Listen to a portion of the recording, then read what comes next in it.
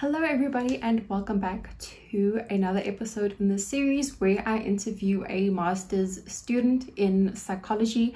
So, in today's episode specifically, we are speaking to Gomez, who is currently a clinical psychology master's student. He is currently doing his internship and has kindly availed some time to answer some questions. So, as always, there will be timestamps in the description box, and I've also left his email in the comments section down below. So if you need to know anything, you can ask him.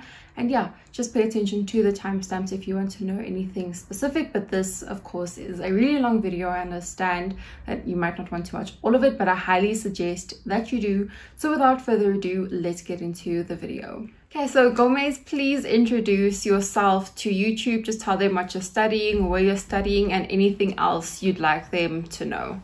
Okay, uh, good okay, I don't want to say morning because it's going to be on the internet. So, good, whatever time you're watching this, good morning, afternoon, good evening, ladies and gentlemen. My name is Gomez. I am a student clinical psychologist, or rather, now an intern clinical psychologist. I studied at UJ, University of Johannesburg. I did my M1 in 2020. Sorry, I keep losing track of the years. And um, I'm currently doing my internship, which I'm set to begin shortly which is abnormal in a lot of ways because I should have begun in January, but those are some issues I can get into later in this segment if asked. Anything interesting? Huh. Um, it feels like one of those tell us something special about yourself segments that I'm never really sure what to say. Like, what special yeah, talent? You're like, who am I? you know, like, what can I say that people would consider cool? Um, anything interesting? Geez, can I forfeit this one for now? Like, if, if something comes up later, I'll, I'll, I'll be like, ooh, addendum. okay, no problem then. Okay, we'll just get into the first question then. How long did it take for you to get into the clinical psychology program after completing your honors slash B Psych? Huh, okay, well, I was a little fortunate because I got in first time trying. You as well what? It it didn't take me uh, multiple attempts because I got I got very lucky if I'm being honest. But my journey through psychology was also a little was a little different, right? Because I didn't follow the typical path followed in South Africa because I okay I'm foreign, so I actually completed my undergrad somewhere else. So um, can you elaborate on that, like where you completed it yeah. and where you're from? I Okay, I'm from Malawi, so um, which is a, a lot of people surprisingly don't know this place. It is a small country right there in like the corner of SADC, bordering Mozambique and Zimbabwe and Zambia. Um, I did my undergrad at the University of Namibia, where I completed a B Psych right? So it was a full four year program. And going into it, I then did an internship for two years at a psychiatric hospital there. Um, it's called Okonguarri Psychotherapeutic Center.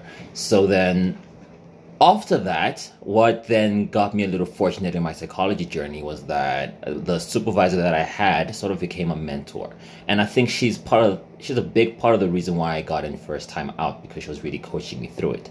So what I then did was after working for 2 years as a counselor, I then came to South Africa and completed a second honors.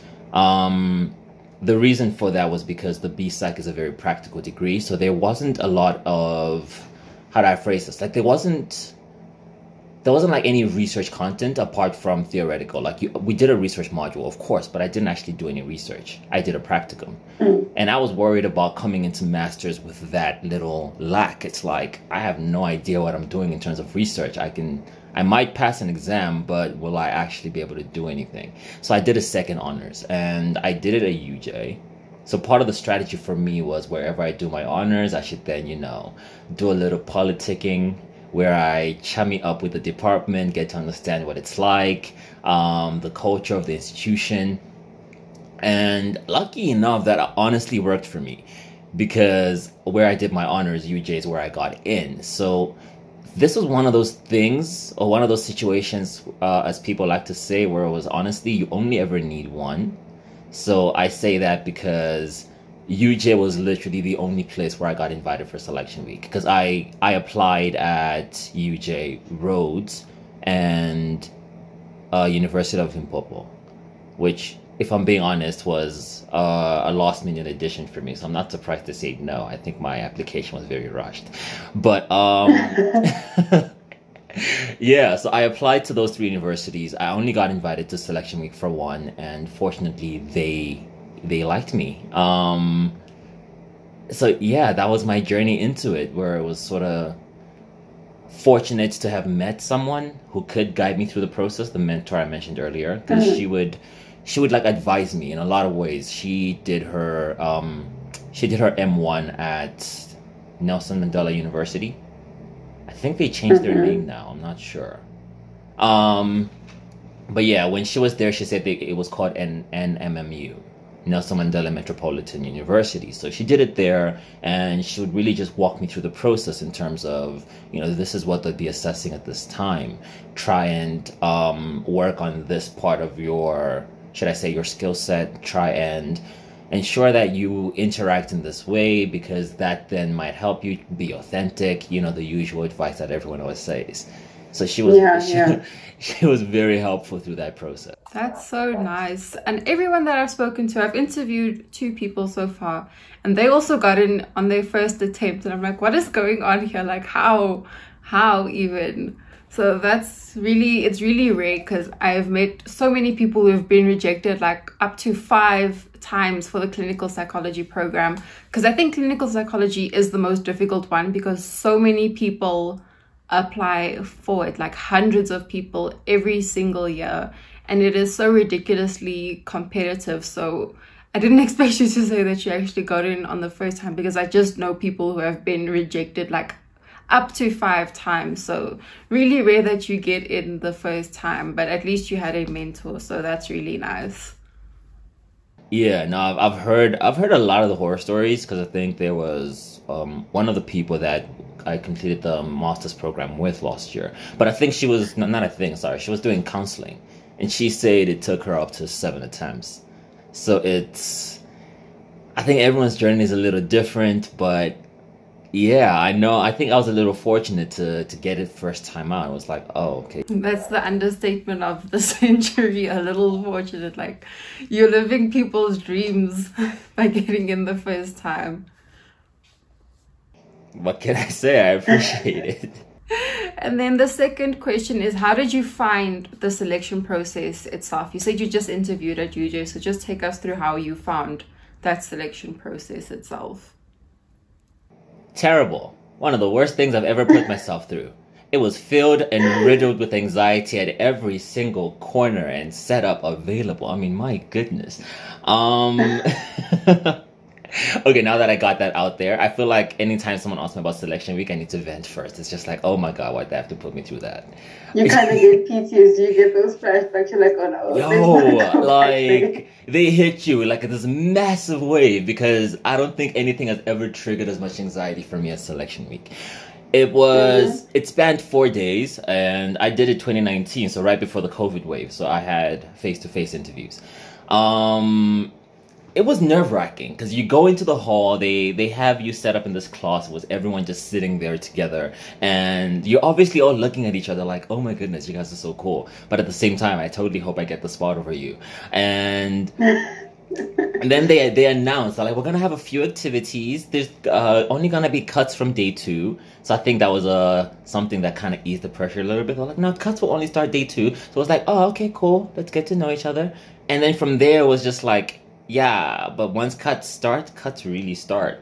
Because I think on that day too, they cut half. It was just like, mm. what? How many are gone? and then day three to day four, they cut half again. It was just like, you you're not slowing down. No, you don't. You don't need time to consider your options. No, okay. Nope. it's very cutthroat. Yeah, no. So it was very. It was filled with a lot of anxiety because a lot of the time, I think the one thing that I always heard was like, how can I present myself in a way that's like, you know, impressive to them? And the truth is, the best version of you. Yeah, the, the truth is, you never know because I think one of the things I've really realized is that selection week is filled, riddled with so much anxiety that honestly, any performance that you put on is it's not gonna stick right so if you are presenting mm. should i say the best version of yourself and that version is not consistently presenting during selection week because you know at some point anxiety kicks in and they notice inconsistency in your presentation. It's not going to look well. Hmm. You know like it's not going to be perceived well by them. So then it becomes this thing where it's like everyone's just like oh just be yourself. Oh just be yourself. Oh just be yourself. Which i came to learn is just be authentic. If you're selected you're selected. If you're not you're not. Uh, the truth is you're going to spend that entire week negotiating so much anxiety and negotiating some really challenging uh, material during selection week. Because you know there's um obviously i can't go into too much detail but there's like there's the research activity which is going to require you to think a little bit you know there's a group process usually for most universities which um really brings out how you interact in a group dynamic. You know they there's the personal interviews that they have with you they're facing the panel. You're going to be negotiating all of that anxiety and trying to negotiate all the answers uh, the uh, answers to the questions they're asking you which sometimes requires a lot of insight. Sometimes it just requires a lot of thought and analysis you're not going to have the cognitive or emotional capacity to really be thinking about keeping a presentation going so it's yeah my experience of it was terrible anxiety was so real but yeah, Yeah. I remember th- there was a time Um, where I got home and Yeah. waiting for that email to see if I made it to the next day or not. I was shaking the whole day. I couldn't do anything. I was like, watch something to distract yourself. Nope. Can't focus. My mind is. Not gonna happen. It's, it wasn't just my mind. Yo, it felt like my soul was shaken.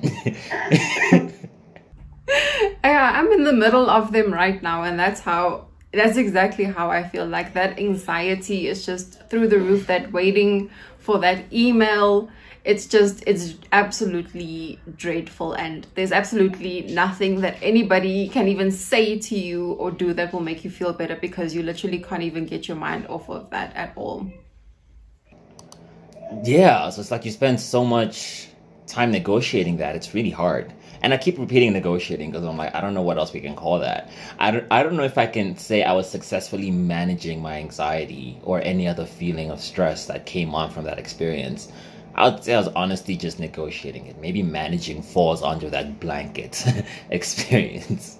Yeah, like just doing what you can to just get by. Like nobody's trying to even be happy. You're just trying to be fine. That's all. So thank you for that insight. I think a lot of people get like this unrealistic expectation of what it's going to be like even though everybody says that it's terrible like you always think oh no i'm going to prepare and i'm going to be fine but honestly no matter how much preparation you do it's never going to be enough because of those thoughts afterwards like oh did they like me am i going to get through how did the other candidates do like so many things go through your mind so at least we're giving people a realistic expectation of what it is going to be like. So thank you for answering that so honestly.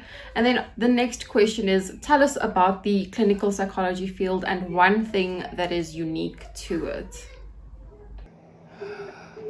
Oh, clinical psychology field. I I think this is one of those things coming in for me where I've been learning a lot about clinical psychology because I think um, coming in, I honestly used to conflate a lot of um, everything, um, specifically between clinical and counseling.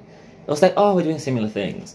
Um, let's just go in, let's just learn, and then you know you start getting into the specialization. You start understanding why things are different you know um, what's the real difference between psychology and psychiatry uh, psychology and social work? And all of that like where do they really start blending and where do they start separating and individuating from one another? So i think um, when it comes to clinical psychology my understanding of it has really just come into the population of people that you're working with because you are then often in clinical settings. You will often work in hospital settings uh, primarily or at least if you're in public. If you're in private, you might then work in private practice um, and that sort of stuff. But to be honest, I would highly advise, especially early in the career, that you do work in a hospital setting just so you're exposed to a wider variety of of cases. So I think something that's unique to psychology for me is then naturally the nature of the work that you're going to do, um, simply because of the spaces that you're in. There will be differences between um, conducting psychotherapy either in a hospital setting and conducting psychotherapy in a private practice setting, you know, where you're you're set up there. So that's that's the uniqueness to me. The the differences that come with that. Because if you're in a hospital setting, for example, you're then part of a system. And the way you're working within that system, it's gonna be different. Like if you're working at let's say Helen Joseph Hospital, or you're working at um, Sterkfontein, which is a psychiatric hospital, you know, it's it's gonna have uh, a few differences in terms of how you're interacting with it. It's uh, the process that you have to go through, the procedure that comes with that, and also then if you're working in private practice and how you're sort of just working on your own. So I think that's one of the unique things that I've come to see for myself, and I think I find clinical work particularly, what's the right word? Rewarding. I find it very reward- rewarding that's something that's really stuck out for me when you you come to someone who's come to the hospital and they're desperately seeking help and it's sort of like i don't know what to do i'm overwhelmed you know that's the story that you often hear and that's why i'm here i tried to do this on my own it wasn't helping before and now i desperately need assistance and just walking with them through that journey from perhaps a feeling of helplessness for them to a place where they start feeling healthier, better, better able to respond to the community around them. I think that for me has been a very rewarding process. So I'm not sure if I answered this question accurately, but yeah, that's sort of what stood out for me in this journey. You know, I think you did. I just, you know, this question was more of like for somebody who's not sure what kind of what type of psychology they even want to choose. You know, a lot of people just think that clinical is like the pinnacle of you know psychology and i don't know where we even got this assumption from but i just wanted to you know get your understanding of it because a lot of people think okay clinical is the pinnacle of it but then it might not be suitable for you like for what you want and what you are interested in like you know the severe pathology and the like super severe cases and things like that. A lot of people don't understand how, like, as rewarding as it is, it can also be very draining, and not everybody is. I just want people to think properly before they choose their field of specialization and not just go because, you know, just go for clinical because it's the best one or it's, you know, highly coveted and whatnot. I just wanted to get your perspective on what you think clinical is and what kind of person would be suitable for clinical or what kind of person would enjoy clinical. You know what i mean? Oh okay let me answer that one directly because that's actually a really good question. I think how do i articulate this the best way if you're going into clinical psychology i think you need to be comfortable uh, sitting with as you mentioned the intense psychopathology you know because it's like the cases that come to you you're going to be facing um, stories filled with extreme pain, with extreme adversity. A lot of the times, you're not really going to be interacting with stories where things may have, you know, like they may have been tough for a while and then they got better somewhere along the way. It's gonna, it's gonna be very intense stories, and sitting with that can be very difficult. I, I can't tell you how many times I've sat with a client story and I'm just completely overwhelmed and I don't know how to negotiate that, and it's just, sure, you know, um, how do I even make meaning of this, especially when you're new? You know, so if you're going into clinical, it is going to be a challenging experience um, because of the cases that you're working in with. Now, that's not to say that counseling, for example, is not challenging. It's very challenging, and you're going to be exposed to very intense cases as well. But the nature of the cases is going to be slightly different. One of the things I've come to understand as one of the key differences between the two is that you know with counseling you're you're then more community based in in the sort of cases that you're going to um, be interacting with you know and then with clinical you're then fully clinically based So depending on what sort of exposure you want, I think that's then going to work better for you. And not just the exposure that you want, but the exposure that you're better at negotiating and dealing with. If you want the sort of experience where you're working uh, primarily in the community and you're interacting with people in terms of the challenges that they face um, as members of the community, it's going to be far more rewarding for you if you choose community um, counseling. I think Wits actually even calls it community based counseling uh, program. And then if you enjoy dealing on, okay, I'll be honest, there's some that do enjoy dealing with the severe um, psychopathology and they mm. find clinical settings far more rewarding or they find clinical settings, you know, far more adapt to their skill set.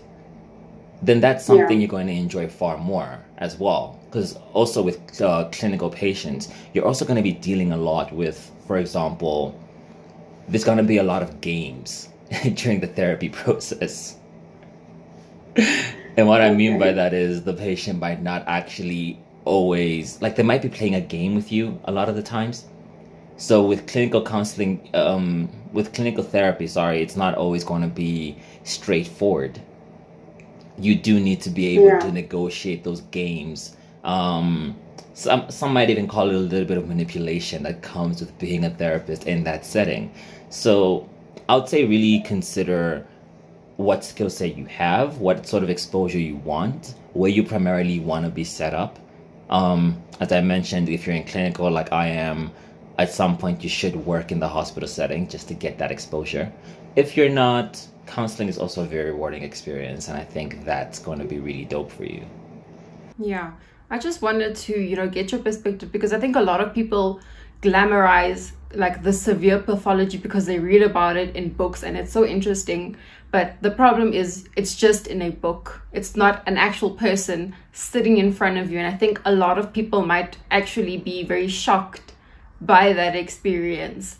And I think I got a, a little taste of that during my role plays with you know, the selection week, I was like, oh my goodness, it's actually happening now. And that transition is actually, it's very difficult. It's more difficult than people expect.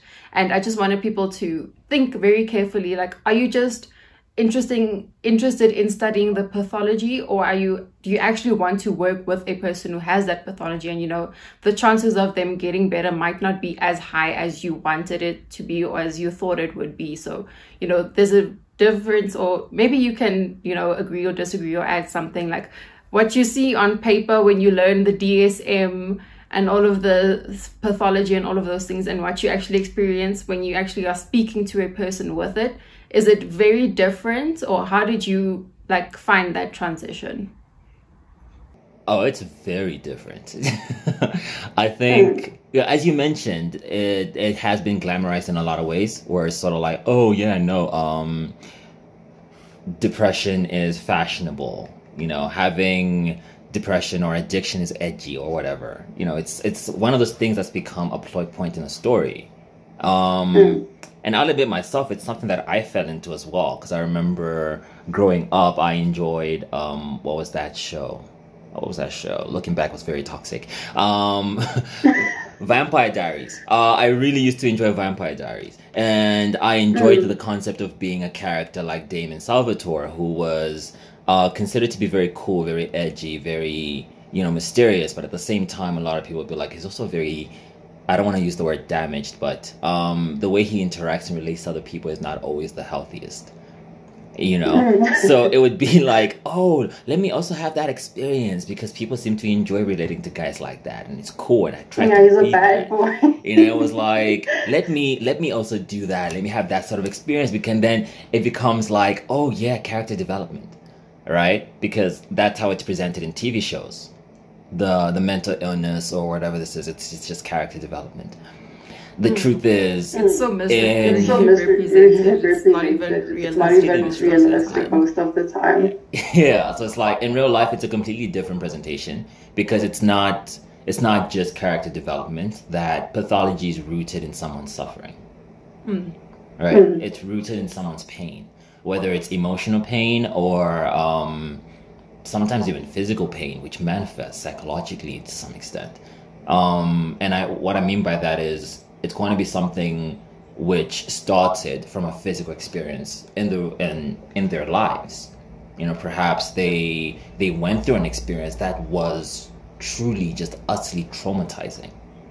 And they struggle to really sit with that. And it could be um, I don't want to go into examples because I really don't feel this is the best place to start diving in. Yeah, no, you don't have to do that. Don't worry. It's just to answer the question, like, and to make people think very carefully before they, not to put them off from clinical, but just to make them think very carefully before considering it, just because it's seen as, you know, the best type of psychology or whatever other assumptions are out there. Yeah. I think the way I always look at it is you know, as, as I mentioned earlier, it's that. It's that experience of it being rooted in that person's suffering where it's like the moment you're exposed to it, it can feel heavy. It can mm. feel very heavy. Uh, there are days where I come home and I honestly barely even have the capacity left for myself in terms of just to emotionally be there for myself or to cognitively be there for myself and make time for myself. It's I struggle. Um, I'm often told that's because I'm new and I still need to develop that skill set, you know. But mm-hmm. in a lot of ways, I look at it and, and it's because, you know, when when you see someone going through something like that, when you ex- when they share that experience with you, it can sit with you in a lot of ways, and it can be very very heavy. So that's something you need to be prepared for coming in sitting with those intense experiences of emotional pain and suffering and walking with that person through that journey without necessarily taking on, should I say, the responsibility of then healing the person because then it's a process and you can't come in and just fix them. Yeah, and it has to be at their own pace, not what you like how fast you want them to progress.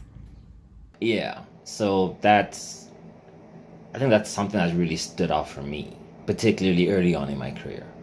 Okay, thank you for highlighting that. I think that the you know this conversation that we're having is very necessary because this is not what you hear in or what you see in the brochures and what is mentioned to people. It's something that you can honestly only experience or learn once you are in the process, and that's why I wanted to make these videos because not a lot of people know many master's students and they don't get to actually have a full understanding of what it is like to actually be in the program. Because everyone's like okay i just need to get in. I need to get in. But then once you get in what happens from there? So that's really the purpose of this series. So thank you for answering that so well. So let's just move on to the next question. What is a week in your life like while doing this degree? I think you can answer more to the m1 aspect of your degree. Like what was a week in your life like Cool. Now, actually, with the, I, I think I'll be able to answer both. Um, listen. Whew. Sorry, I had to laugh for this one for a bit because you know, masters is gonna completely take over your life. Okay. Um, hobbies, interests, all of that stuff. It's important, and this is weird because everyone's always like, it's important to keep that in your life. Yes, it's very true. It's very important to keep that in your life. Will you be able to do it though? That's a whole other conversation.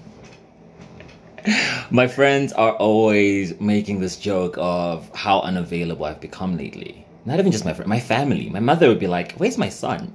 I haven't talked to him in months." like there are times where I'll completely just vanish, and it's like, "Where's Gomez?" And I'm just like, "Guys, uh, I'm sorry. It's, it's just I either don't have the time or I don't have the capacity to have a conversation with you after all of this because it's either I'm busy or I'm recovering from being busy." You know mm. so like yeah uh, a, a week in my life is filled with let's start with m1 um m1 was filled with a lot of seminars and those seminars lasted for all or most of the day right? Um, the shortest one would have was from nine, and this is UJ's schedule specifically. So other universities might be very different. UJ might have also changed it already by now. I'm not sure if it's still the same because they they do revise the program every year, just to, uh, based on what worked, what didn't, how did we experience this year with these students with this intake. Yeah, how to keep it current. Yeah, and where to improve, you know that kind of stuff. So like for example, I had the shortest seminars we had were from like nine to one um, a lot of them would go from like 9 till 3 and others from 9 till 4 It's like a full working day. it's a full working day. So um, that's why a lot of the times I'd always be like, no, you can't do masters and have another job, right? Because M1 specifically, you are then experiencing coursework right which is the seminars i'm talking about. You're attending classes you're you're learning which as you know uh, attending classes comes with all the other lovely stuff. Tests assessments presentations. You're gonna do a lot of presentations. Um, there's also probably gonna be a lot of group work right? So you're not going to have a lot of time outside of that alone. Now, to add on to that, you're also doing practicals because they do need to start exposing you to some capacity. Our practicals were once a week, right? So every Friday we're at the hospital and we were seeing patients actively. Now, because we were still student psychologists at that time, we're then seeing um, should should I say the the simpler, less complicated cases or the less severe cases, the cases with a less severe presentation. I think that's a better way to to phrase that. Um, simply because you know those cases are um, they're easier to manage and therefore better for someone to learn than to just say, oh, okay, you just started your here student psychologist journey. Here are the most severe presentations in the yeah. They don't want to throw you in the deep end. they don't want to throw you in the deep end. It's like, okay, let's introduce you. Let's give you perhaps a mild case of depression. See how you treat this case. So you, you're you're gonna have practicals every week which means you're then also going to have supervision every week. Supervision is on two levels. You have supervision from the university, where there's a lecturer who's teaching you um, the theory and the practical and everything. And then you're going to have supervision at the hospital because they also need to ensure that you are then um, managing the case well, making sure their patients are receiving adequate care, and how you're adjusting to being in the hospital, etc. So you can already see how time starts to stretch very thin over there. Um, and then there's all the stuff that comes with seeing patients. You're writing notes, you're writing reports, you are um, recovering. let's let's not forget the time needed for recovery. So there's that as well, right? And you're negotiating all of this during the same time and space, right? And then let's not forget let's not forget the thing lurking in the background, research. you have a research project. That, Everyone's best friend. ha! Research has been a demon in my life. I love it. It's so rewarding. It's amazing. But my God, the stress. so I'm not gonna. It's not one of those things where it's like, oh no, everything is so difficult, you can't do it. Um, the truth is, these are all very manageable tasks, and I think you most do have the capacity to do it. It's manageable work. The issue comes in doing it all simultaneously because this is all happening in the here and now. It's not like you're gonna have time for research here, time for coursework here, and time for practicals here. It's all happening at the same time. All right, practicals, research, um, coursework. You need to negotiate all of that simultaneously. So a day, uh, a week in my life was filled with all of that um, coursework Monday to Thursday, uh, practicals Fridays, um, reports, ass- assessments, all of that obviously happening in that same space, research in that same space. So there will then naturally, just like school is, there'll be times where it's very busy, especially if you are unlucky and a lot of your deadlines kind of collide. You know, um, you have a research deadline with your supervisor. You have um, a deadline with coursework. So the, an assessment is due or a presentation is to be prepared. And you have a report that's due at the hospital site because you know you're seeing a patient. You need to give feedback in the here and now. You can't make them wait four months until you have a clear time in your schedule. Mm. right? So all of that's happening all at once. It was a very busy very very busy week, weeks as I as I told you, the schedule was Monday to Thursday with the coursework. It was already a full working day, and then the rest is already kind of coming in in the background. In that time, you might then also want to be negotiating uh, family, uh, friends, relationships, hobbies. You might be better than others. I think that's where a lot of some of your skill sets come in. If you're good with time management, you might then be able to negotiate it a little better um, you know, maintain those relations because you are going to need them. I'll be honest, you are going to need, you're going to need your friends, you're going to need your family. You're going to need a space where you can go to and not have to do psychology related content just to sort of deep. Yeah, you need a life outside of it. You need a life outside of it. So, yeah, that that was a that was a week in my life during M1. And then M2, can you just briefly take us through that? Because I see we're almost on 40 minutes and, and we're only on question four out of 14. Oh my goodness, I'm over elaborating. Sorry, I tend to do this. Cut me off if you feel I'm taking too long.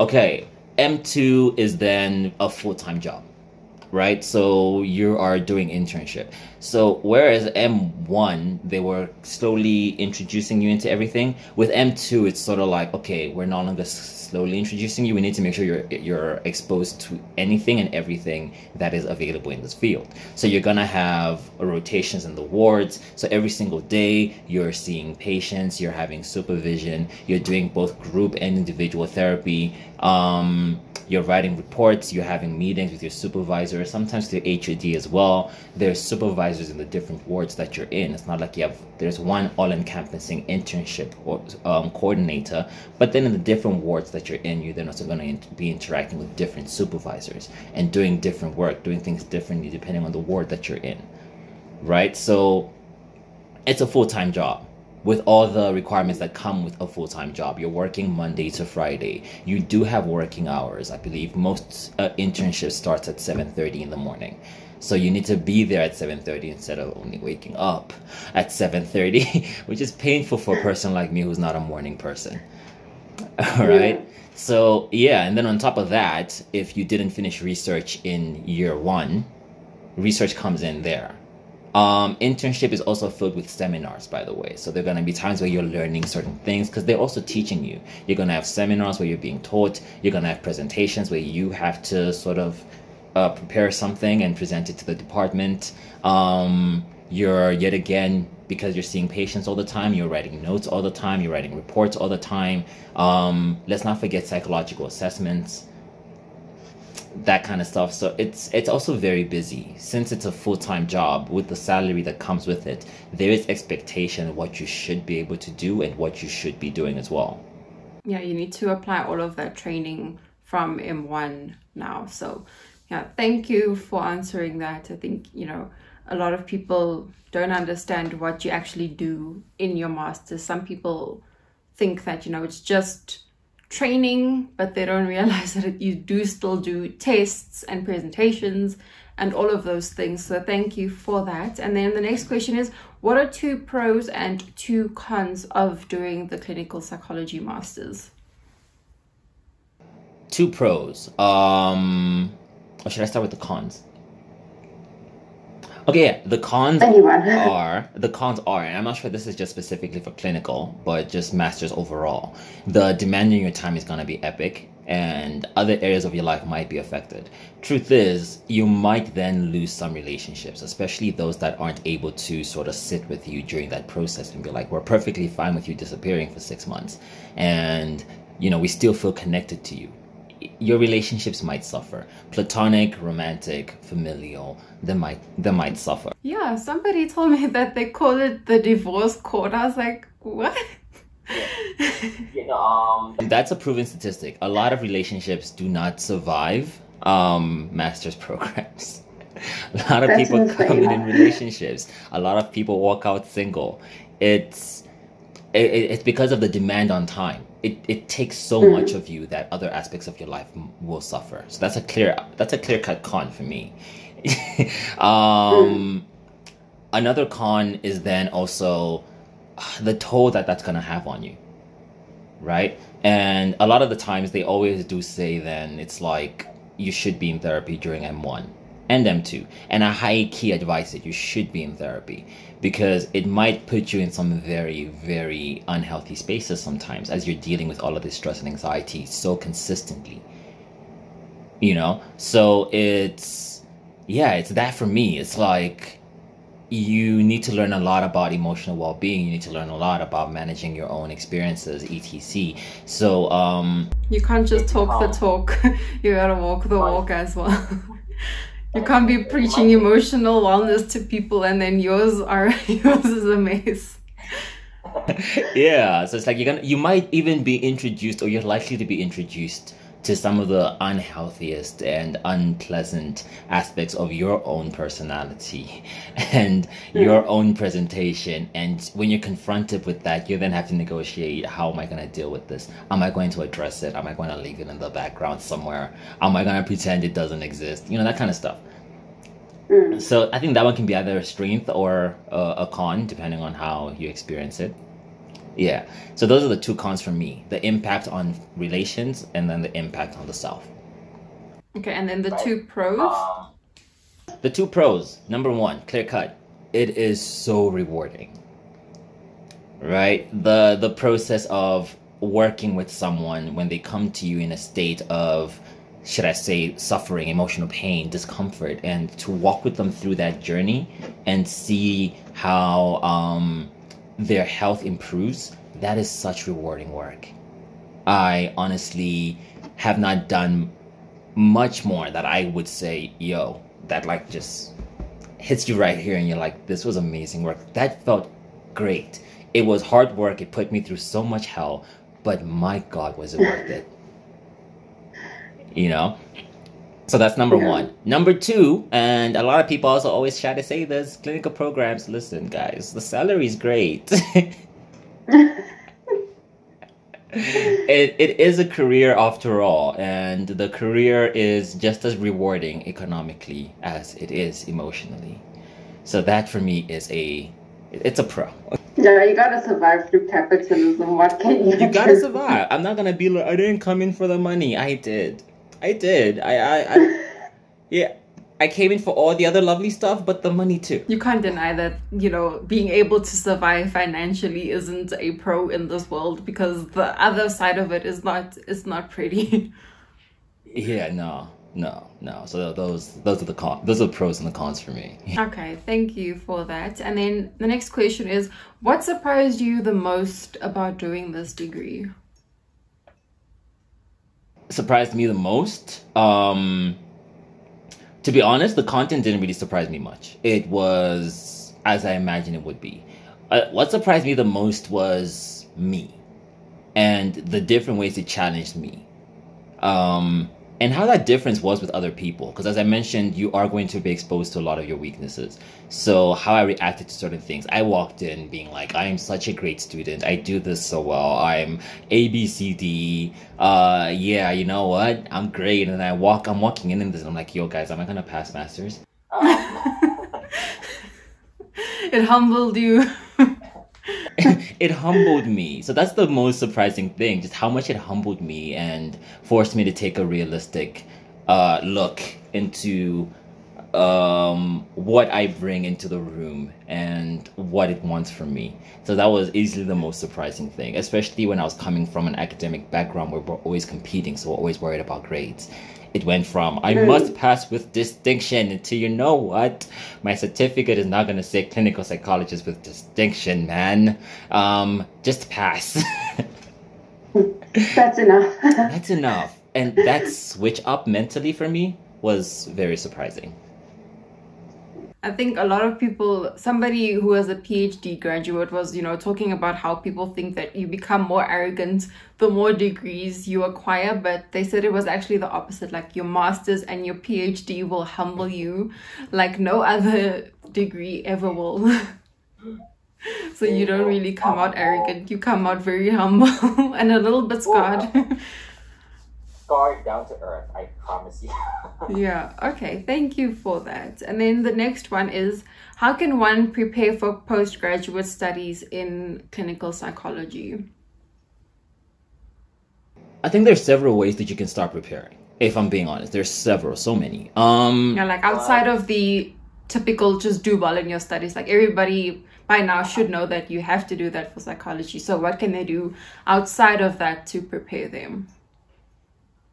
I think um, a lot of the difference ends up coming into um, individual qualities, you know, the qualitative stuff, because uh, the degree ends up quantifying your knowledge and your understanding of the theory. And the truth is, after you reach that 65% average, everyone's good. You, you all technically qualify, right? So, what really starts shining out is what are the qualitative things that you bring into the room? What is your um, what's your personality like? How do you interact with other people? How do you relate to them? How do you negotiate stress? Um, how do you negotiate difficulties? That kind of stuff. So I would say, uh, much like earlier, where it's like you go through therapy for the purposes of um, surviving masters, I would also high key advise going through therapy for the purpose of just understanding yourself and getting more, um, should I say, grounded or getting a deeper understanding of how you relate to the world around you because then that's going to inform how you interact with the process going in. Okay, Right. so, So number one, say, yeah, number one is therapy. Just for everyone uh-huh. watching, you say number one is therapy.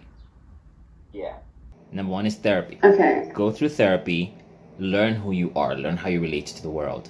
Um, learn what stresses you out, your strengths, your weaknesses. What do you actually need to improve on, and what skill sets do you bring into the room? Right. Um, number two, try and get as deep as understanding of the field as possible because a lot of people do come in blind. They have no idea what to expect. you know, and I guess that's where videos like this become really helpful. Do some research, understand what the field is, what is it like in the country at the moment, what are they looking for, what do they need, and how will you fill that uh, that gap in the industry? Because the whole point of coming in is to take up space within the industry and address a need right? So that's something that's really going to help.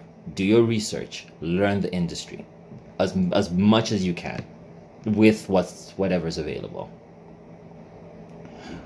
Okay. Yeah, those are the two things I did. Okay, and then is that it? Can we move on to the next one? yeah. I think we can move on. I can't think of anything else. the moment. Okay, and then the next one is Do applicants really need to volunteer, and how much does it boost their chances of acceptance? this one's kind of mixed match. Um, the truth is, I haven't met a lot of people who told me that volunteer experience did much for them. Right? Um, volunteer experience becomes important because it addresses a gap in your um, in your CV, potentially, right? And exposure to the field.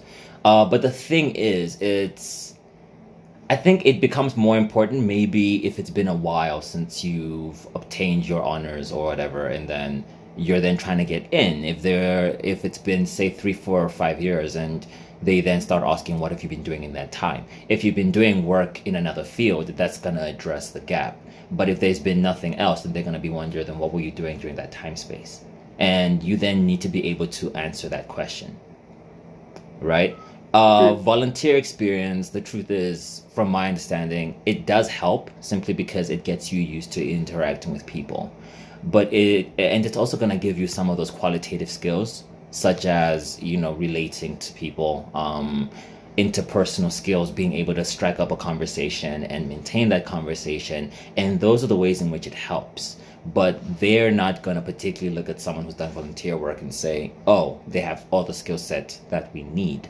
Because the truth is, they are going to teach you that skill set. That's why they're there. I think it just helps you, sorry, it just helps you stand out when applying because you know the minimum requirement is already just the academics in of itself. And if a lot of people meet that, they need to look at other criteria outside of that to start shortlisting people. So I think that is where it does help you. Yes. Um, and whenever you list it, whenever you do list volunteer work, I would also emphasize the skill set that you observed you learned from it. So it you can't just say I did volunteer work because then they'll be like, okay, cool. Why is that important to us? Um, then you start you, you could list the the skill set that you got from that. Oh, it improved my interpersonal skills. It improved my um, uh, capacity to do this, to do that, to do that, to do that and basically quantifying your volunteer experience. That's where that's going to help you. So I would say it's important, but it's not. Don't root your entire application around it, but definitely highlight it in, in key moments. Yeah, you need to mention it in your application. Some of the universities, from what I've seen, they actually do ask you if you have volunteered. And even if they don't ask you, just find a way to just mention it briefly because that might be what puts you above somebody else. I mean, it sounds terrible to say that, but that's just the nature of the program and getting shortlisted. Like you gotta do you gotta like sell yourself basically and volunteer work does it helps with your interpersonal skills but it also helps get your foot in the door when it comes to applications. We are competing so i fully understand what you mean. You say it's got it's got uh, it gives you an edge. Yeah. We yeah you have to remember that at the end of the day. So yeah um is that everything for your answer? Yeah i think that's what stands out for me with volunteer work okay thank you. And then somebody else asked would you say that studying psychology isn't just about getting good marks? We kind of we kind of discussed this but yeah, just give like a very brief answer to that. Yeah, no, it's definitely about more than just good grades. Good grades are important because it determines your ability to negotiate with the theory, understand it, and apply it, right? Because you you can't apply what you don't understand, so they need to see that you have the capacity to understand it and how well you do. But after there, they start looking at it less and less, especially getting into masters. I think it's very important academics when you're uh, up until honors right after the honors mark, I think um, they start looking more at the qualitative stuff. Because the moment they look at your um, application and they look at the grades and like this is important, then they'll be like, okay, cool, they meet the minimum requirements. Let's look at other segments of the application. Because I know a lot of students who had far higher grades than me academically, but weren't invited to selection week because other a- aspects of the application weren't as strong right? So you do need to start valuing those a little more and more because you might then be a very strong academic and grades are very important, but those other aspects we've been talking about, like interpersonal skills, which is very important for our field, if we're being honest, um, interpersonal skills and all of that stuff, that starts to carry more weight. Um, but it carries more weight after the academic component is met. So it's like still pass, still pass very well, but um, make sure you're developing then m- more in more areas than just your grades. You're also developing in terms of human skills. And I know human skills are hard to quantify because we always look at it as I think industry calls it soft skills. Or it's like, oh, what kind of uh, dynamic do they bring into the team?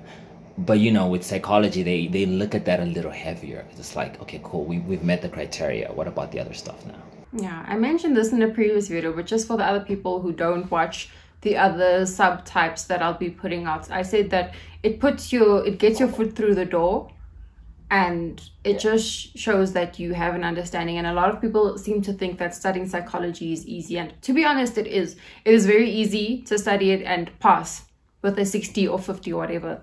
What becomes difficult about psychology is constantly getting those 70s, 80s, and 90s. And then also on top of that, making sure that you are not just centered in your academics, so that you are doing things outside of your academics while getting those marks, such as working and volunteering. And that is what makes psychology very difficult or more difficult than people expect. So I just thought, let me put this in this video as well if somebody else hasn't watched those other videos. That to me is what psychology and how academics play into it. I don't know if you agree Yeah. or not. No, I fully agree. I fully agree. Um, I think it also leads back to that comment I made earlier about how master's content in and of itself is not like the most difficult thing. But because of how much you're negotiating in that same time and space, it then becomes very challenging.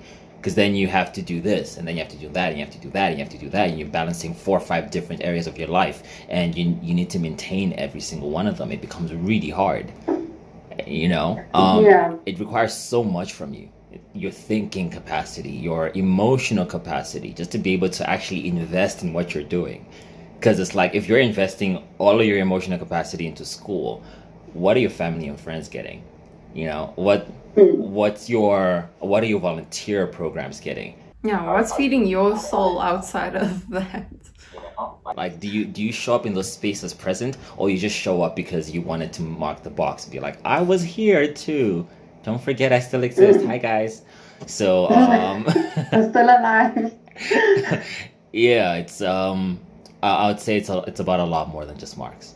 Okay, thank you for that. And then somebody, okay, you already answered you answered this question. Is the workload for masters hectic? So then let me just move on to the second part of someone's question, which is: Is it possible to balance being a registered counselor and a master's student? Registered counselor meaning you're working. um, Yeah. is it possible? Sure. I think barely. Look, it's like if you apply yourself very intensely and be like, I'm gonna do both, uh, you might just be able to pull it off. But uh, to be honest, I'm not seeing how you're gonna pull off practicing full time while being a master student. Because I think for a lot of people, that's why I mentioned, um, I'm not even sure if master's programs allow you to work while you're doing the program as well. I think we were all told, whatever you're doing, quit. Yeah. Even in the application forms, it tells you you will not be able to hold a part-time job while doing this degree program. Yeah. So to be honest, you really won't. You you honestly really won't. Um, because I also came into this as a registered counselor, and I can't tell you the last time I did anything registered counselor related. the moment masters entered my life, it, it's been masters. So um, what I would advise for them is perhaps maintain your registration as a counselor until your registration as a psychologist is secure, just to make sure you have access to that industry if when it's still needed. Um, but definitely, I would lean more towards it's not possible. Okay, thank you for answering that. And then somebody asked, is it true that you are interviewed as a master student to see how intensely you can handle a situation during a session? Yes. Yes. clinical, okay. Yeah, yeah, okay. Yeah, not just about even interviews, because uh, remember we, for example, we do uh, during training we do role plays, right? So even during the role play, they're gonna see how you're responding to certain things, right? Um, we have feedback with a supervisor every week, and during that feedback you're sending them notes on what happened in the session you're um, you're getting feedback consistently in terms of okay this is what i'm seeing this is the areas where you've developed this is the area that still needs development you could do better in terms of your theoretical conceptualization you could do better in terms of you know abc da, da, da, da. so your ability to handle several areas is continuously being assessed And it's for your own benefit, so I think it's a good thing. Yeah. Yeah, so it's it's not always so formal as to say we're scheduling a meeting to discuss your ability to do A, B, C, D, but just understand that you are continuously being assessed. Whether it's how you interact in class, whether it's how your supervisor experiences you during um, uh, during supervision, um, both on-site and off-site supervisor. On-site being the uh, the university supervisor, and off-site being uh, sorry, off-site being the university supervisor, and on-site being the supervisor at the hospital during practicals.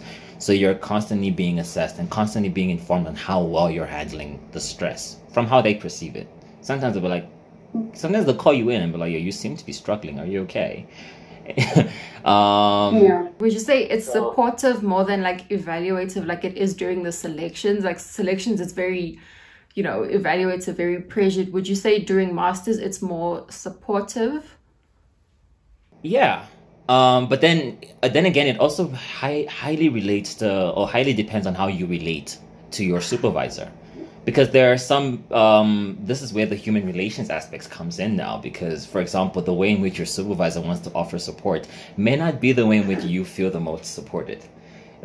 right? So you might have a supervisor who believes in hard love and being like just coming down on you and telling you that was complete nonsense.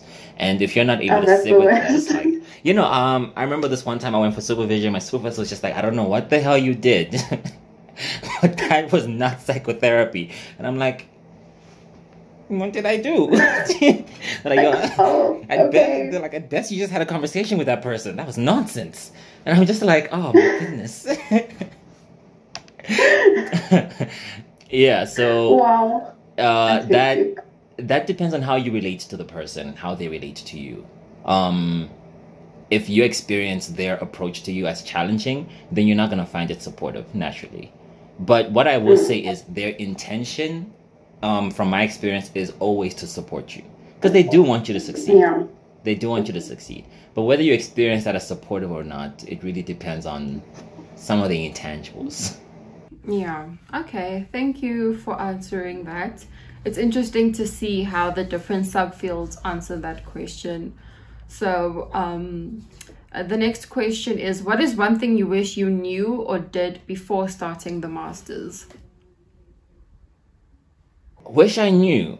As I mentioned earlier. Or did. earlier, um, I wish you knew or did. Yeah. As I mentioned earlier, I had a mentor. So I'm not sure I came into this with anything I wish I knew I, or did, to be honest.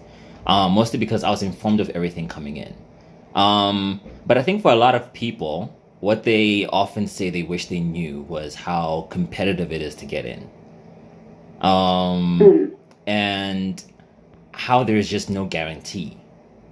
No matter how high your grades are, there's just no guarantee, and you often need a backup plan. Um, as I mentioned, I was fortunate to have been informed, so I came in with a backup plan, and I came in with that knowledge. Um, and I knew everything that I was risking, and I guess I was arrogant enough to risk it. but uh, yeah, so I can't think of anything where I'd say I wish I definitely knew that. But I think that's the area that often is then highlighted, where people say, "I did all of this. I invested four years of my life up to honors, and I just didn't know what the hell I was walking into." Yeah, you were fortunate enough to have a mentor. So maybe um, if you could like find like to the people now, if you could find a mentor, then that would be highly advisable so that they can inform you of things to do or what to know before starting. definitely find a mentor. I think something that's uh, been really dope lately is I think you're very familiar with them as well. The emergence of co- cognition and co, uh, the student psychology network on Instagram. Um, one of my Yeah. friends works uh, quite um, consistently with them, and I think what they're doing is amazing because this field was very mysterious to a lot of us, uh, to a lot of people coming in, and I think they're really helping clear that up and uh, they can then take on the role of that mentor. If you can't find one within your communal spaces, I think you can then look online and see what that is. So, though I don't have anything I wish I knew, what I would highly advise is get a mentor, get someone to teach you, get someone to advise you, sort of like you're also trying to do with these videos. Okay, Yeah. that kind of answers the next question, which is one what is one piece of advice you would give to someone wanting to do clinical psychology? So, do you have like another piece of advice outside of trying to get a mentor? One piece of advice. I think that's the main one. Um, go and find someone to walk with you through this journey. It's like the, it's like the, the, the number one. But one piece of advice for someone wanting to do my degree. Okay, now let me not, let me not go personal advice. This this has to do more with practical. But I said this earlier. I'm going to say it again because I think it's more relevant to this context. But definitely get exposure right? Get some exposure and understand what clinical psychology actually really is. Because hmm. it's very romanticized, right? It's very romanticized. And a lot of people walk into it with the romanticized idea of what psychology is. And truth is, and I'm not sure people, a lot of people talk about this, but psychology as an industry struggles to retain some of its uh, skilled populace, skilled individuals because of this. Because people come in and they realize this is not what I want to do with the, for the rest of my life. So even after getting their master's degree, honestly, some leave the field and they go do something else. Yeah, How I- does that work? I, they just realize this is not rewarding for me. you know, I would rather go do something else. Because the thing with with a clinical psychology degree, for example, you might you you gain access to several industries. So they'll be like, "Yo, you know what? I'm gonna go corporate. I have no interest in working in hospital settings, for example." Whereas that was the primary purpose of a clinical psychology degree. You know, Mm. so I would say walk into this with your eyes open and as informed as possible because I don't want anyone walking into this with a romanticized idea of the field and the industry and then being just utterly disappointed when they find that it's not as they imagined. and taking someone's space that has an idea or the proper idea of what it is but they didn't get in for whatever reason and now you, you kind of took that spot but now you don't want it and as you know Yeah. it's it's highly coveted like so many people get rejected year after year for this degree program. So to to kind of hear that people walk out afterwards because they weren't fully aware of what it takes from you is is quite hectic. It's hectic. Actually, one of them was my was someone that taught us a seminar. Well, they didn't leave the field entirely. It's just that I guess they had time. They did clinical psychology, realized they wanted to be involved in another aspect, and then went and did psychiatry. Sometimes you have to learn these lessons. I mean, everyone is on their own journey, but like going back to the piece of advice you gave, like do your research and not just reading journal articles like hit up a clinical psychologist in your area or hit up a few. Go onto forums sign up on PsySSA's um, the psychological society of south africa's clinical psychology division. They do a lot of things there. I mean i volunteer within PsySSA's student division and there's so much information that not a lot of people are actually tapping into. And that's just one example of doing your proper research before you enter the field. And i think knowing the field itself and what is still to be done and everything also helps a lot in your interviews and actually getting into the program. You know definitely. It's it's really important guys. I cannot emphasize that point enough. Okay thank you. And then on to the last question. If you have a psychology degree but are unable to further your studies do you know of any jobs that one can branch into um, so that depends. When you say psychology degree, do you mean bachelor's or honors? I think maybe you can give like a scenario for each of them, or maybe even both. Yeah. Because I think, uh, to be honest, there are far more options if you have your honors, right? Um, because with your honors, you will then be able to tap into other areas which will unfortunately need more investment right? Um, such as the primary one that everyone goes for is psychometry. So it's like, okay, cool. Mm. Let me let me go get the psychometry program, and then I can become a professional psychometrist. I think I only know of the UJ program and the one at um, Nelson Mandela University. Um, no, it's not very common. Yeah, it's not very common. So it's it's it's a little hard to find if I'm being honest. But that becomes an alternative path you can take, and it, it, it is a little expensive it is a little expensive. But there are some that say they find ways into the program if they can afford it. If they can't um, a lot of the organizations such as jvr for example are also willing to work with people that are looking to get into psychometry as an industry. You could also always talk to the um, program coordinator. If you get in they they might also be able to help you find uh, a funding program for it because they do also work in collaboration with these organizations so that's that's an outlet, a possible one that you could try. And then do you know of any jobs that like don't require any further studying but will take psychology graduates? There's I've heard of a few. Um they're sort of heading towards the HR side of life.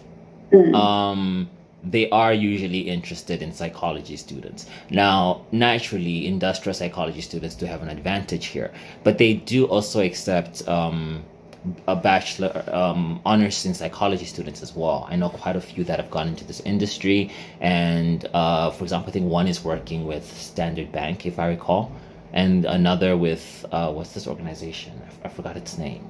So yeah, um, if I remember, I might actually come back later and tell you, but I, I don't remember the name. But it's within those fields where you're working with human relations. They they're usually quite keen on the skill set that um, a psychology honors degree might give you. With a bachelor's, as I mentioned, I'm not actually sure if there are many. Um, I'm yet to come across that scenario. So I think maybe that's one of the areas where that might need to be looked into as well. Unfortunately, I haven't looked into it that deeply because I was mm. fortunate that the degree I did in my undergrad was already in honors, so I never had to research what to do if you don't get it. Because uh, I know mm. getting into honors itself can also be very competitive. Um, yeah. So there's some that might get stuck at that process for some time, or might then decide to stop at that process and pursue other other opportunities. Mm. Um, with that one, I would highly advise looking into it. I'm not familiar myself, unfortunately. Okay, thank you for that. I think that's everything. Would you like to add anything else before we end this? Sure. Um can I think of anything? because I think what ended up happening is I talked so much in the beginning that the earlier segments became a little lighter in terms of content I was throwing out there. No, I mean I can't think of anything at this time that would be like massively important. Yeah, I think I've covered everything, and I don't want to. I don't. I don't want to get repetitive on anyone.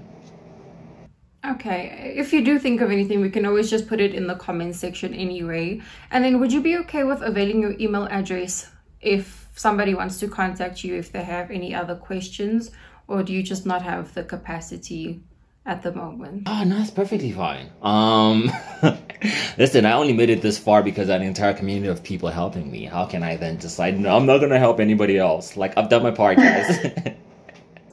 I just had to ask, you know, I don't want to be like, hey, here's your email address for thousands of people to see and you know you might get hundreds of emails or something like that and you weren't really okay with that.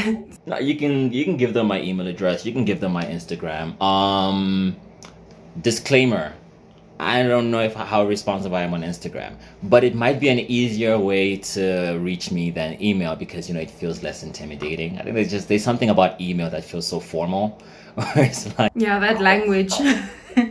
that email language. Yeah, whereas Instagram, you just come in, hi Gomez, and it's like, oh hi.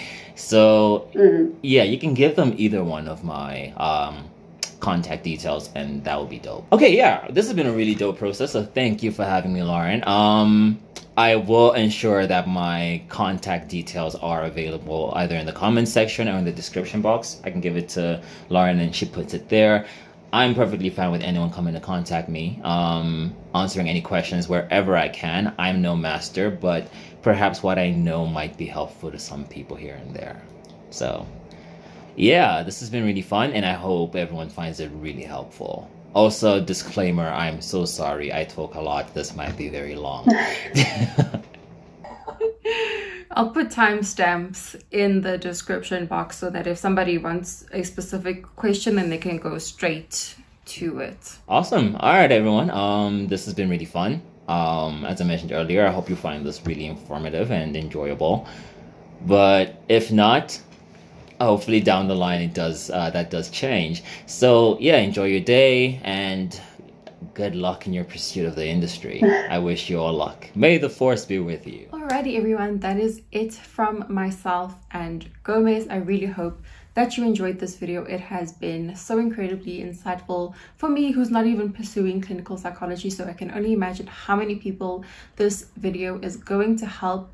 If you have found this video helpful, please, please, please give myself and Gomez a, a thumbs up and leave a supportive comment for Gomez in the comments section down below. And if you need anything, like I said, his email is in the description box and the comments section. That is it from myself and Gomez. Thank you once again for watching. Don't forget to like and subscribe and hopefully I will see you in the next video. Bye.